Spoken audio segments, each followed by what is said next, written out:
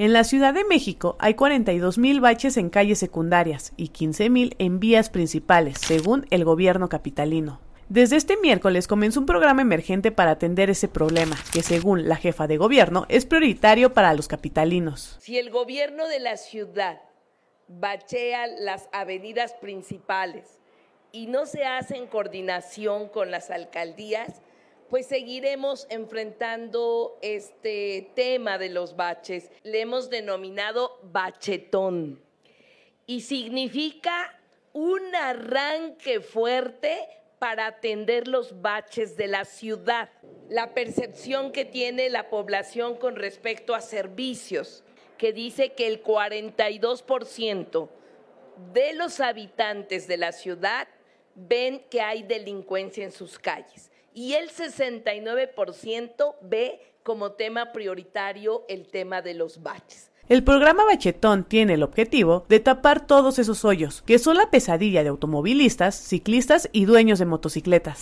36 cuadrillas se encargarán de atender los que se han reportado hasta ahora. 20 se ocuparán de las vías primarias, mientras que las otras 16 estarán asignadas a las alcaldías. Se espera que en cinco meses se cumpla el objetivo de tapar los baches, de modo que para la temporada de lluvias de 2025 el problema ya esté resuelto. Las cuadrillas acudirán a baches que ya están geolocalizados para hacer más eficiente el trabajo.